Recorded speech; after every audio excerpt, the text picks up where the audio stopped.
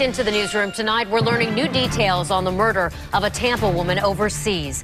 Right now, investigators are searching for the man they say murdered 51-year-old Wendy Albano in Bangkok, Thailand. Our Chris Martinez joins us now with how family and friends here in Tampa want her killer caught. Chris? That's, that's right, Wendy. And right now I can show you that police are using this photo right here as they work to track down that man in India. And tonight, friends of the victim say this guy's arrest can't come soon enough.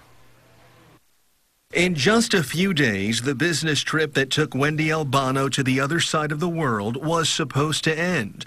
Now, tonight, her friends must come to grips with why she's never coming home. Totally unexpected unexpected. Tammy Sasson shared a seven year long friendship with Albano, a 51 year old interior designer who was known for her artistic flair, love of cats, but mostly her commitment to the people in her world. When you were with Wendy, you just knew you were loved and accepted and um, and that she would do anything in the world for you. That makes her murder all that more puzzling to anyone who knew her. Thai media reports say Albano was found by maids in her Bangkok hotel Monday, stabbed and strangled to death. And this grainy image, now being circulated worldwide, shows the man accused of her killing.